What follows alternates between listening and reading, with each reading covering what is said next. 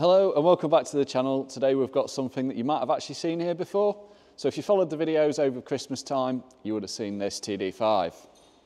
So if you're wondering why it's on the channel again, well, they had some issues when it was returned home, sadly. Uh, let's explain. So you may recall that this one had quite a few issues with the fuel system at the time of the uh, of the previous vlogs and it's come back to figure out what's actually going on. So let's show you what happens when you go to start the vehicle now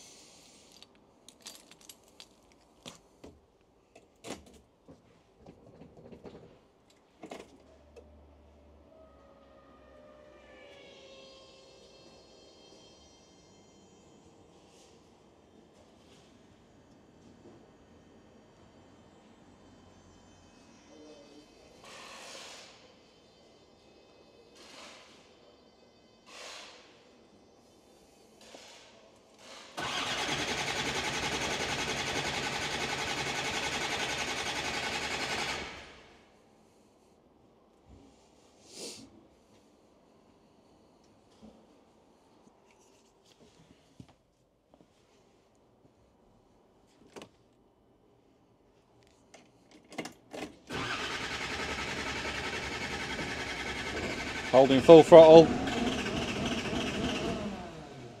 Yeah. So if you give it some more throttle, it will, it will eventually pick up, but sadly it's got some air in the fuel system somehow. So we uh, recovered fuel pump, fuel, we've since done fuel filter head. Uh, it's had brand new injectors, it's had a, um, uh, a brand new fuel pressure regulator, and one thing that we did notice that we didn't actually think would be an issue at the time of changing the injectors was it looks like the injector seats uh, have been cut. Excuse me. It looks like the injector seats have been cut. Um, now, we've seen lots of injector seats that have been cut before in the workshop when we've done work on vehicles uh, with the injectors. Now, we've never had a problem, we've never knowingly had a problem with the injector seal on that sort of circumstance, but with this, uh, with this TD5, this one is, actually fitted with a GTB 550, and what we actually do think is a possibility at this point um, that the, um, the, the the copper washers on the ends of the uh, injectors there are perhaps not got the best seal with the seats being cut, and combine that with the 550, the cylinder pressure and the torque that a, a 550 turbo, GTB 550 turbo can actually make. We are thinking uh, that it's just enough to breach uh, the injector seals and then as the vehicle cools down, thermal expansion, um, it takes place, does its thing, and perhaps there's a gap that's opening up um, in the injector washer. So with uh, without further ado, I think we need to pop this vehicle onto into one of the bays, uh, workstation bays, and uh, remove the injectors. We'll have we'll have a look at these uh, seats. We'll have a look at the seals on the washer on the injector washers, and uh, we'll make a decision with whether we're going to go with a replacement cylinder head. Now, having spoken with the customer, he said that if we go with a replacement head, he'd really like to go with the AMC head. So let's have a look at these seals. Then let's have a look at this head if we go through with it. Again, another little look around the shop. People do ask, what have you got in the shop? On the occasion, this one's for a clutch, engine. That's actually, where are we? That is actually our truck cab that we're uh, assembling. Got a full restoration on that one. We've got this 110 in for an engine. I think there's two. I think this one achieved 240,000 miles. So, yeah, time for a new one.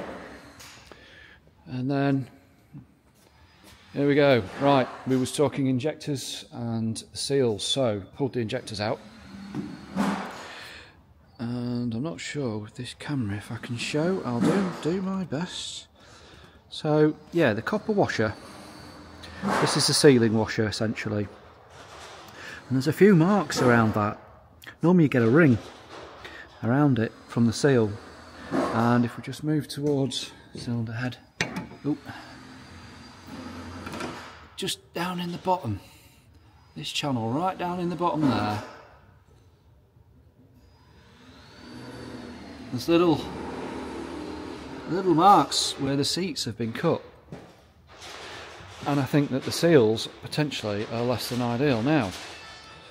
Having had, wait for the door to stop beeping, having had a conversation with the owner of this vehicle, um, what we are going to go with uh, with regards to the cylinder head is an AMC cylinder head because what we don't want to do we don't want to cut these so we're going to go with an AMC cylinder head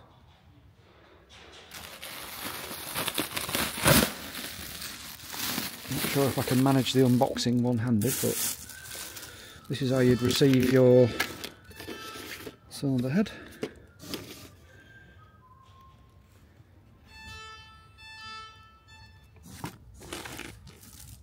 get this out of the box and show it. Right, so AMC cylinder head. This is exactly as you would receive it. Yeah, so uh, it comes without the cam. With I think there are options with without cam. Cam in uh, customer's vehicle is absolutely uh, fantastic condition. No, um, no scoring or wear marks or anything like that. So uh, would reuse that. The cams are actually quite expensive. Um, several hundred pounds, I think. I don't want to say the amount in case I get it wrong. Um, but yeah, they're very expensive. Um, but yeah, this is how you would see the cam, cam the head. So it does need assembling. It needs a fuel pressure regulator fitting to it with the little uh, filter, O-ring, etc. Uh, inlet manifold, exhaust manifold. Um, obviously, it comes without any um, tensioners or anything like that for the timing chain, but that is what you would receive.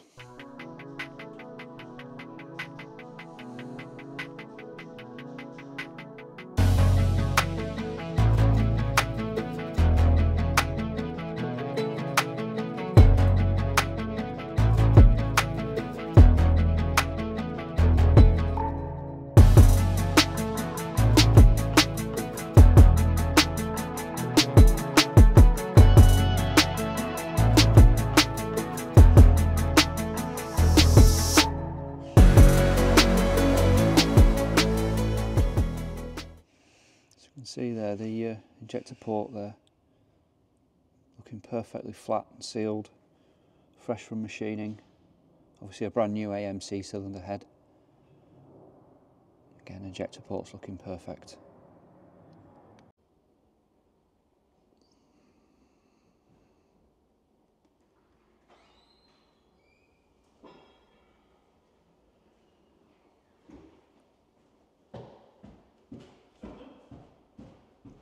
Jeez, you can't film anything. Okay, right, so uh, just focusing on these injector seals a little closer into detail. So the side that's showing here is actually the side that would go um, on the injector side. Um, so you've obviously got a nice evidence mark where the injector has Im imprinted um, and sealed nicely there. However, if you turn each one of these washes over. Hopefully it shows on the camera. Perhaps we'll zoom in and have a look. Um, they're just, they're all really scored up. Now, I know that uh, when these are squished um, and fitted in the vehicle that, yeah, that's what they're there for, they're to squish up. But they just, they look really, uh, really bruised up. And uh, I think that's potentially where we're uh, allowing air into the fuel system and that is potentially giving us our non-start.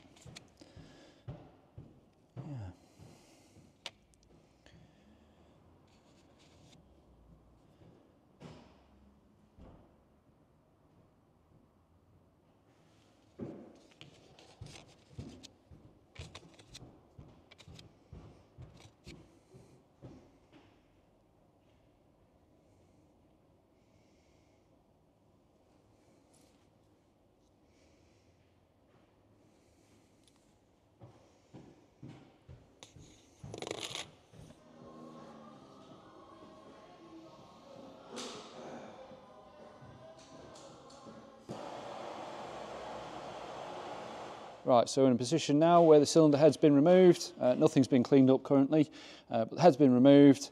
And uh, it's nice to see that the pistons look uh, all nice after making such, such high horsepower and torque. They all look nice. Um, the reason I'm uh, showing this is these uprated cylinder head bolts and studs that we do, stud and nut kit, um, they're actually reusable. I think we've used, I was speaking with Will earlier on, Will's our engine builder, and uh, he uh, says that we've had our cylinder head off and recycled the, uh, studs there well, around 10 times, if not more. So definitely worth the investment if uh, it's an engine that, well, A, you're going to be creating high horsepower um, and torque, and, and B, for future-proofing the vehicle. Uh, for example, if you plan on doing some service work on a regular basis, not that cylinder head gaskets is uh, regular service work, but in this case it's uh, saved the customer a little bit, not a lot, but a little bit, with the uh, not needing to purchase new head bolts where you usually would do.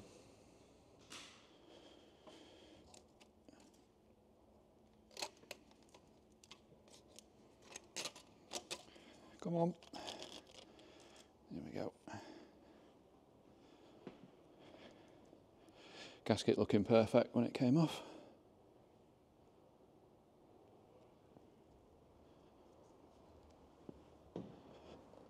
Obviously no head gasket issues.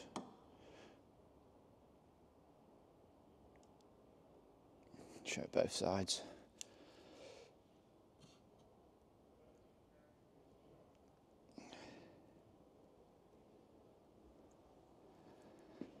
Right, so that's the head gasket removed. I'll just pop that aside.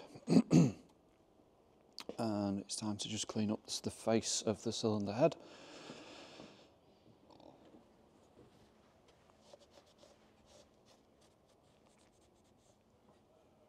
So I'll just wipe off the thick of any uh, oil or coolant and then we'll go around it with a more suitable cloth and use some brake cleaner and just make sure everything's perfect for sealing up.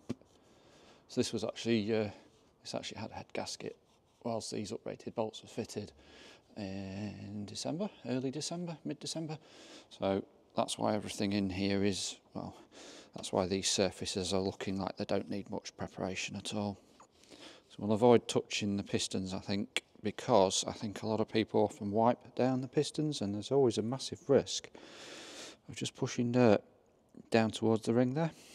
And uh, any dirt that's down there could contribute towards a sticking piston ring and that is what you don't want. You'll get lots of uh, problems like cylinder blow by, you'll increase oil consumption uh, if you do that.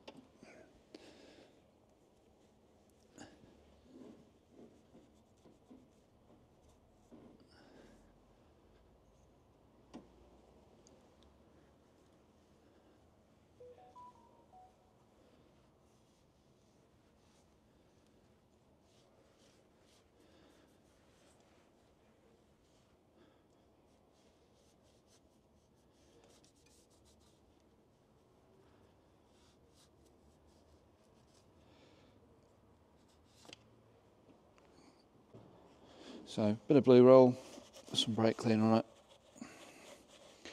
Again, being careful around these pistons not to uh, want to push any dirt into the cylinders, try and avoid that as much as possible.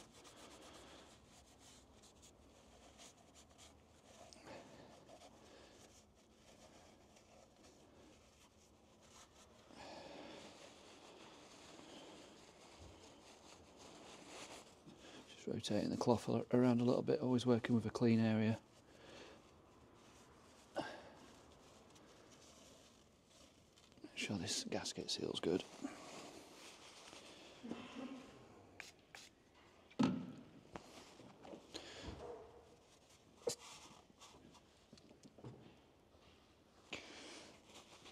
So, some of you may be interested in what head gaskets we might actually use and it's the L-ring gaskets. We're a big fan of those.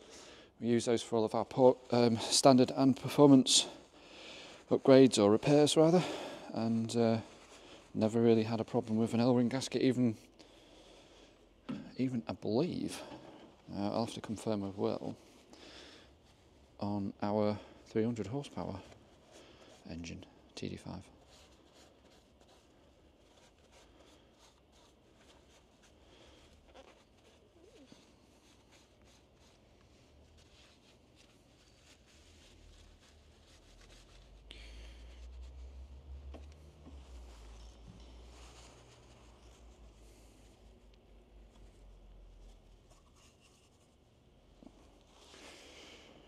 Right, so the done thing with these studs is to screw them in until they stop and then back them out a full turn as well. So what I'll do, so screw them all in.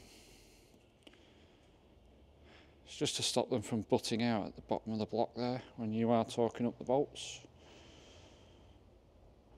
So what I will do is I'll screw them all in. Not forcing them in, a bit of resistance on them and then I'll clean the tops off them um, and I'll just put a marker on the top there so when they are all backed off by one turn we know that they're all where they should be. Oh, this one's going down quite a bit. Potentially the stud's unwound as we've undone the nut when undoing the head gasket.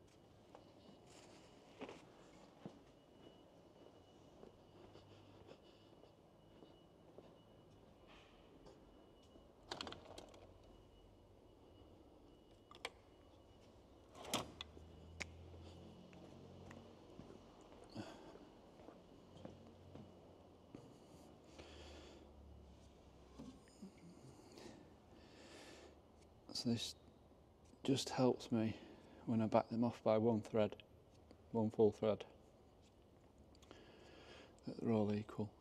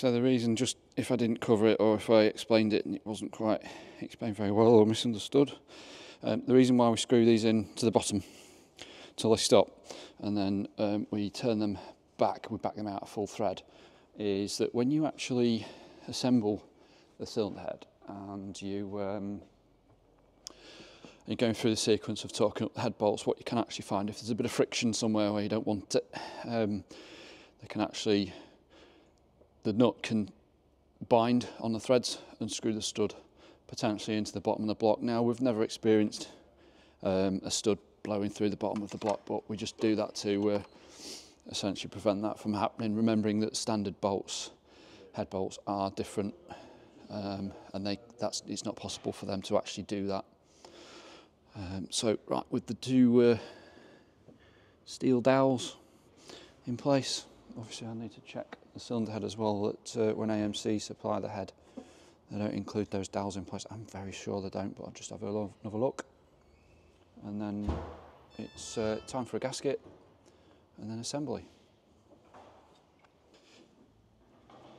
Right, so just showing here um, what uh, assembly, uh, fastener assembly we use, the lubricant that we use. Um, it's just there to reduce the friction when you're torquing up the bolts.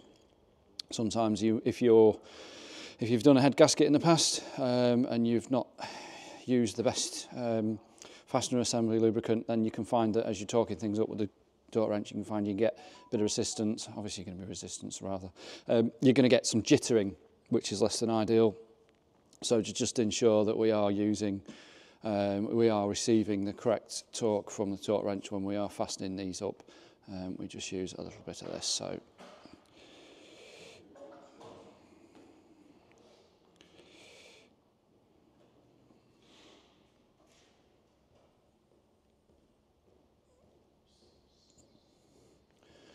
So we do actually supply obviously these head bolts and recently maybe over about the past year we've been supplying some of this, some little sachets of this so that our customers can use the same stuff that we use in the workshop. I've seen people use copper grease, engine oil and other substances to reduce the friction but I think this is the best stuff. Once again. If you wanted to order some of this yourself. Um, we don't supply it on its own, but perhaps Demon Tweaks, uh, for example, might be a good idea for you.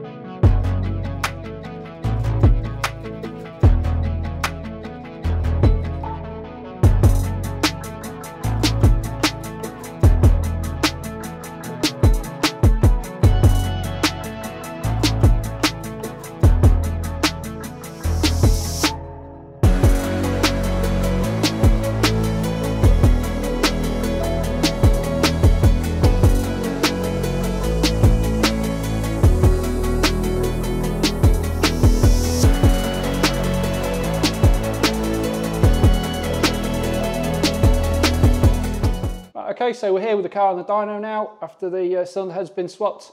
Uh, I've done some road testing, uh, happy with everything and the way that the vehicle performs and uh, it's keeping nice and cool as well. It's one of the very important factors there uh, when doing a head gasket uh, as well as uh, swapping the head. Of course, head gasket has to be replaced when swapping the head. Um, so yeah, happy with what I've uh, experienced on the road test. Plenty of power from this one. Uh, I've just got in front of me as well the power figures from what it made before, just swapped this round. Um, so yeah, we're looking to uh, essentially try and match this figure, sort of 232 uh, and 517. Uh, uh, along the tuning start process of before when this vehicle was with us, we did actually make a little bit more than that at times, but those are quite realistic figures. And uh, let's see if we can produce the same. Wonder if the vehicle might make a bit more of an AMC cylinder head. You never know. So let's find out.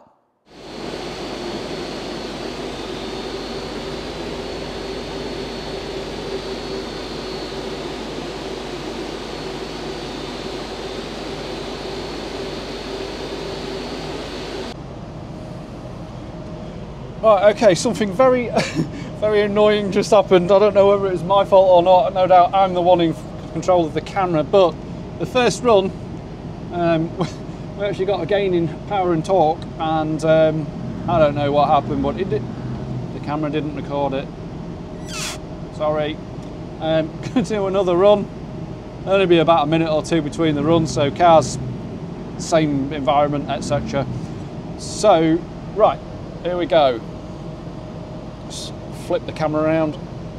Oh, there we go. And zoom in. Drop the window. Let's go for it. It will get very noisy.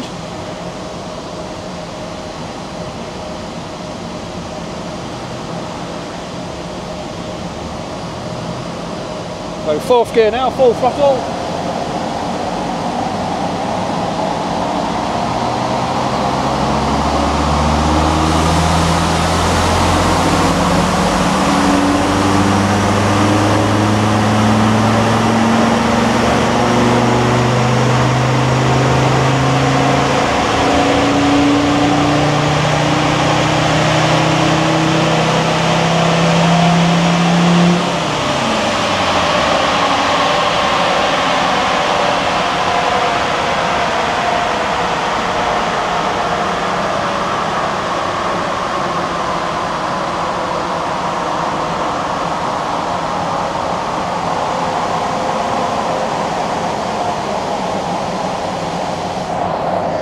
So good result there, 234 horsepower and 534 newton meters. So gains everywhere throughout the whole range. Let me just grab the keyboard just zoom in on that. So what this essentially does, it just fills up the graph and use the drag wizard. There's a little dip here. So, okay, bumps us up two more brake horsepower by ironing out and straightening out the, the transmission losses here. Obviously at the top of the RPM there, was a, when you when you dip the clutch and go into neutral, sometimes you're going to have a little wobble on the dyno as the vehicle starts to slow down. And that's what that little tool is there for, just to straighten out the losses there. So that's looking pretty good. I'll turn the fan down so we can have a look at those graphs.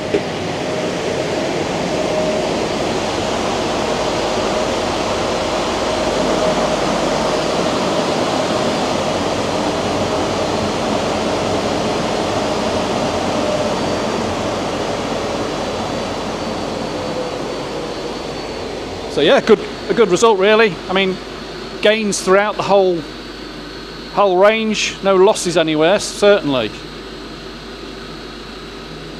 And uh, less hesitant a little bit here. I wouldn't really call that hesitant, but uh, there is a difference between the two there. Seems good. Horsepower's up, torque is up as well. Uh, I guess the only thing to do with this one now is to let it cool down. Now it's Friday, it is the 26th. Uh, had to look at the date there. It's the 26th. Um, we're going to leave the vehicle sat right here um, until Monday morning. Essentially what was going on with the vehicle, if you didn't quite uh, caught the, the, the, the, main focus of this video is that, that after leaving the vehicle stood for a couple of days, it, would, it wouldn't fail to start, but it would somehow get air in the fuel system. And you would, you would turn, you would turn the uh, ignition uh, and crank it over and you'd need throttle to start the vehicle, which You shouldn't need that. Um, so yeah, uh, going back, we've looked at the injector seals. We suspected those. No doubt we've shown you those already. If not, maybe we'll pop them in now. Um, and, uh, and, and suspected the way that the cylinder head had had the seats cut as well, of course. Okay, so the weekend has now passed. Let's try and start the car. I would say fingers crossed, but I am super confident in this. So here we go. Fuel pump sounds good. Yes.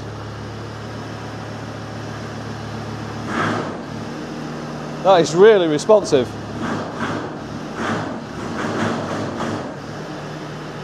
Yep, all sounds good. So yeah, previously, if the vehicle was left any more time than one day, uh, what we'd essentially get is a non-start or at least a, uh, a vehicle that's super hesitant to start. So you crank the vehicle, you need to hold full throttle down for, I don't know, a long time. Eventually the vehicle would pick up because the, uh, I guess we've proved it, the injector seals all along. Um, yeah, well, we got there. Uh, hopefully you've enjoyed uh, the whole video, the whole uh, TD5 90 saga. um, but uh, I think uh, from here we're going to go for a road test. So come on, let's. Uh, I'll bring you with me.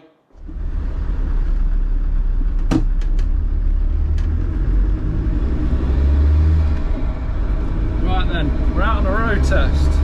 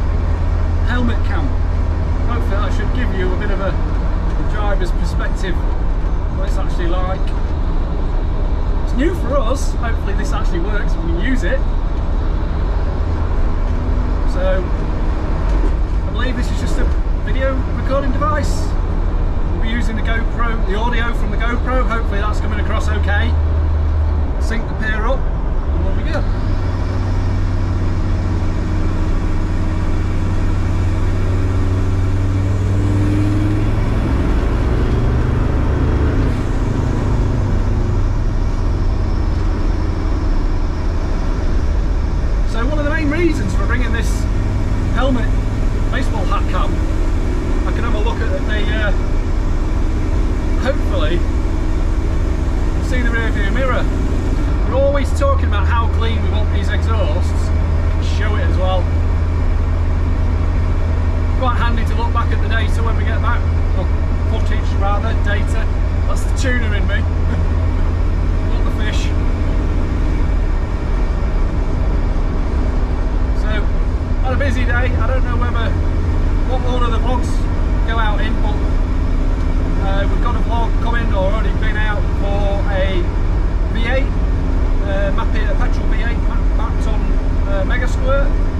So that's what I've been doing today. Partially doing today. So right, it's a good temperature into this now and uh, see if the traffic allows, we'll give it the, the throttle a little bit of a squeeze on the way out of this roundabout. You've got to be careful of this thing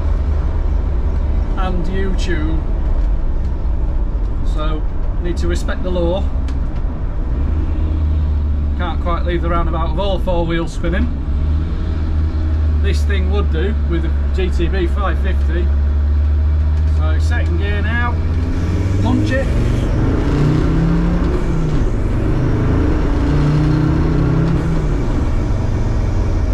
Now we have got a bit of traffic obviously.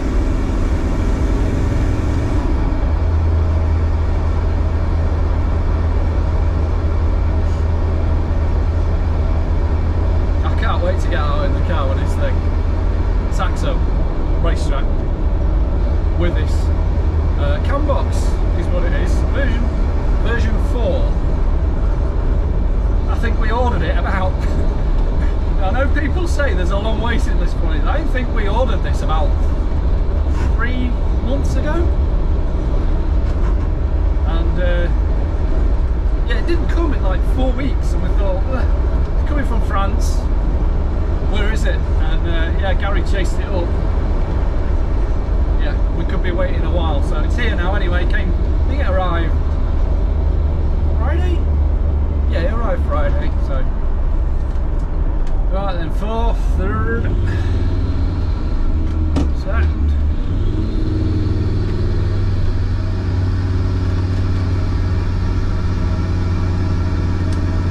I'll indicate. Oh, I'll go around again. It's that time of day when there's a lot of traffic.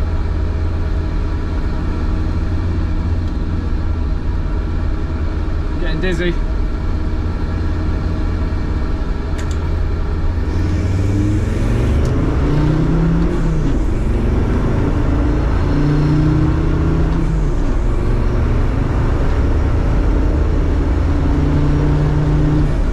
But yeah, not a thing from the exhaust. 60. And again, I don't know if it shows. This is a big hill.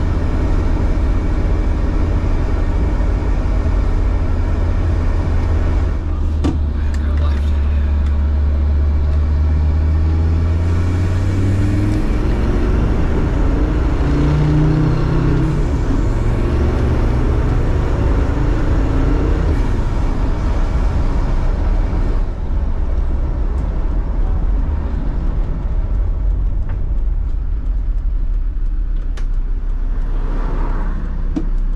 Heck of a draft from the door.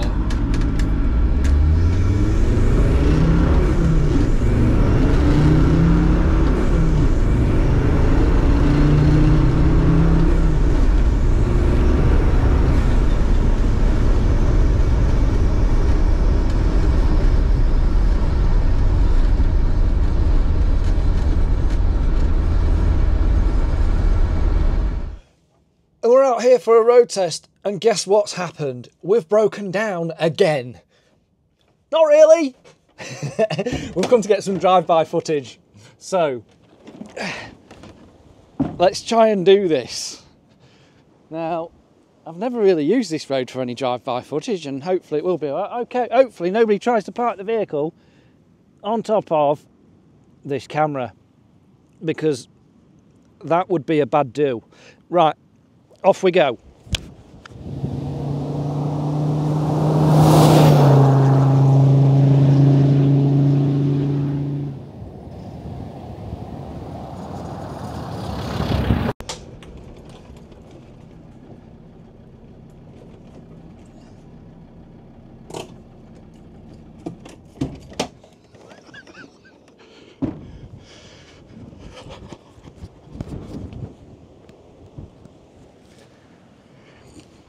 I just stopped, like, I don't know, a few hundred yards up the road, and I couldn't find this camera.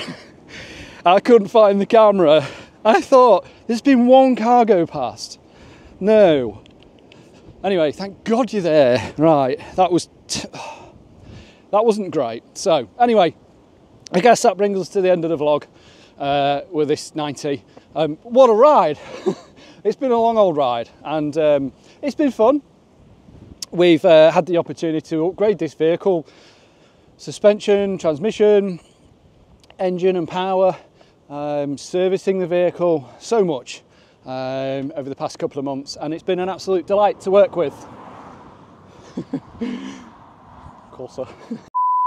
yeah this is uh, i guess that brings us to the end of the vlog with this one and uh, yeah, it's been an absolute treat to work on this vehicle in, in the grand scheme of things. Yes, it's tested me, uh, and yes, it's been a difficult one at times with the whole non-start issue, uh, but we have got there, and uh, what a sight to behold. Those wheels, that ride height, brought to you by the Alive Comfort lowering suspension kit, the Bilstein dampers that are valved to our specifications as well such a such a sporty vehicle, and uh, it really does knock off so many years of how this vehicle feels in regards to age. It rides it doesn't ride like a car. It rides like a uh, a much nicer Defender. So yeah, a little bit of road testing, Lincolnshire. Very cold today, and uh, hopefully that's it. um, so yeah, anyway, guys, as usual, thanks for subscribing. No, do that again. But yeah, anyway, guys, thanks again for subscribing. Thanks for liking and commenting on the videos as always. I'm Stu, and this is Alive!